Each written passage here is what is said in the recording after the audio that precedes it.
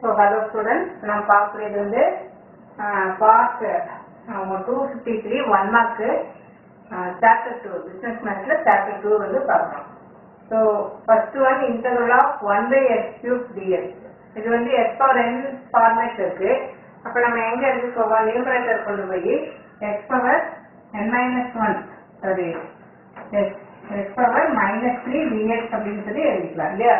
அப்போ x power என்னோட form என்ன x power one by n plus one so x power minus three plus one by minus three plus one so x power minus two by minus two so minus of இதை கீழே கொண்டு வந்தீங்கன்னா என்ன வரும்? X ஸ்கொயர்னு வருமா? அப்புறம் கண்டிப்பா இந்த பிளஸ் சிங்கிறத நம்ம என்ன பண்ணணும்? மறக்காம போட்டுக்கணும்.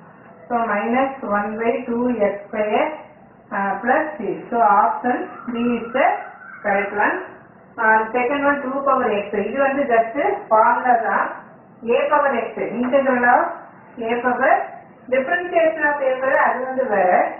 Integral of a power x dx equal to a power x by log uh, which one? log a.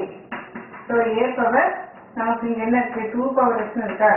So 2 power x by log 2 plus c. So the answer for this uh, option A is the correct one. And the third one, third one is this.